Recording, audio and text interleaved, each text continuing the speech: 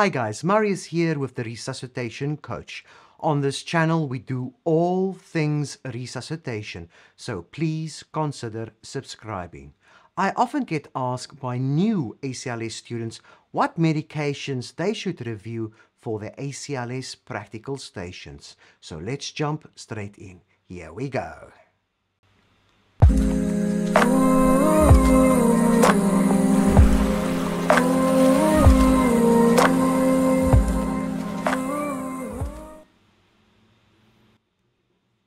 Epinephrine or epi, also known in most parts of the world as adrenaline, is probably the most widely known emergency medication. The ACLS course indications for using epinephrine include cardiac arrest management, symptomatic bradycardia, and hypotension as part of your post-cardiac arrest care. For adult cardiac arrest, we administer 1 milligram of the 0.1 milligrams per mil or 1 in 10,000 concentration. We can repeat the dose every 3 to 5 minutes during resuscitation, but for educational efficiency, we can give it every 4 minutes as a mid-range. Each dose should be followed with a 20 ml flush and elevation of the extremity. For the endotracheal route, which we don't use in the ACLS stations, we will use 2 to 2.5 milligrams diluted in 10 ml of normal saline, as the uptake of epinephrine down the ET tube is not the most reliable. For symptomatic bradycardia, we can start an infusion at 2 to 10 mics per minute and titrate against the effect. For a continuous infusion, the initial rate is 0.1 to 0.5 mics per kilogram per minute. Always titrate the dose against the effect. Amiodarone is also known in the ICU, the ER, and EMS environment as amio. Some common names for amio is cordarone and pacerone. I like to call it the big A. The indications of amiodarone include ventricular fibrillation and pulseless ventricular tachycardia. Amiodarone can also be used when a patient has a stable wide QRS tachycardia. Amiodarone is used in the treatment of ventricular fibrillation or VF and pulseless ventricular tachycardia unresponsive to high quality CPR, defibrillation, and a vasopressor. In cardiac arrest, the first dose is 300 milligrams IV or IO push, followed by a D5 water flush. The second dose, if needed, is 150 milligrams IV or IO. The pattern followed by clinicians in VF or pulseless ventricular tachycardia arrest is usually high quality CPR, defibrillate once, defibrillate for the second time. Then we'll give our epinephrine, defibrillate for the third time. That is then followed by the amiodarone, defibrillate for a fourth time. We give epinephrine and defibrillate for a fifth time. And we'll give amiodarone and defibrillate for the sixth time, epinephrine again. I always remember that after the equal number of shocks, shock 2, 4, 6, etc., the patient will receive an epi and after uneven number of shocks, shock 3 and 5, the patient will receive amiodarone, all assuming that the rhythm did not change from VF or pulseless VT to something else in between. If this pattern is followed, your patient will receive one dose of epi every 4 minutes and one dose of amiodarone every 4 minutes. Usual dose interval for both medications are 3 to 5 minutes as per the AHA guidelines. It should be noted that amiodarone doses could be replaced with lidocaine as an alternative, but in most ACLS courses, students will use amiodarone. As an infusion, amiodarone can be administered as follows. During your ACLS course, you will give a rapid infusion of 150 milligrams IV over 10 minutes, which is 15 milligram per minute.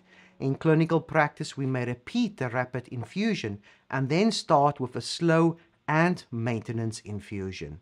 The slow infusion is 360 milligrams IV over 6 hours, which is 1 milligram per minute, and your maintenance infusion is 540 milligrams IV over 18 hours, which works out to about 0.5 milligrams per minute. Keep in mind that the maximum cumulative dose of amiodarone over 24 hours is 2.2 grams.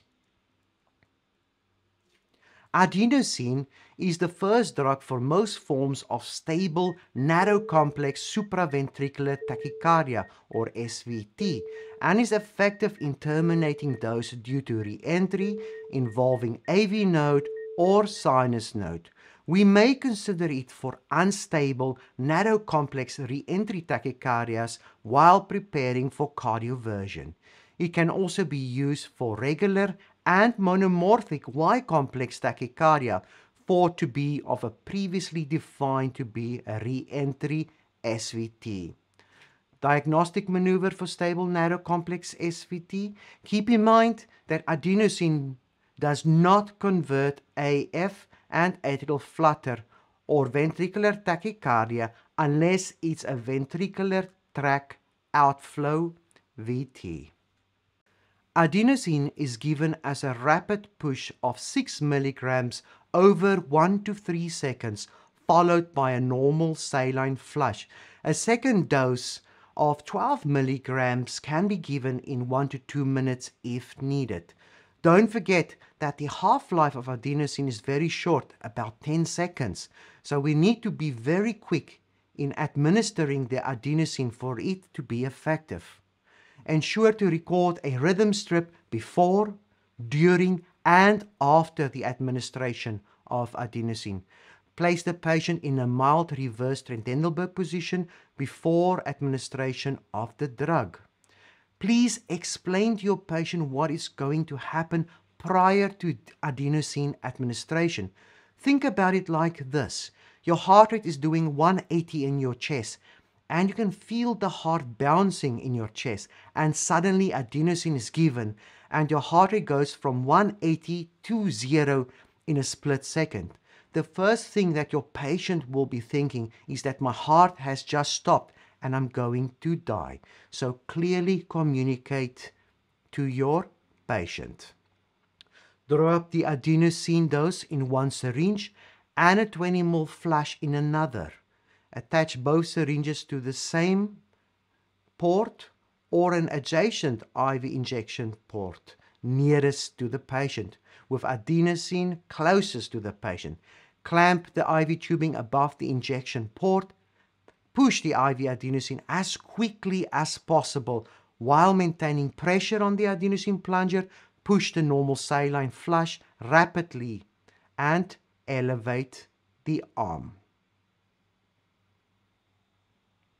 Atropine is the first drug for symptomatic sinus bradycardia, may be beneficial in the presence of AV nodal block, but likely not to be effective in second degree block type 2 or third degree block.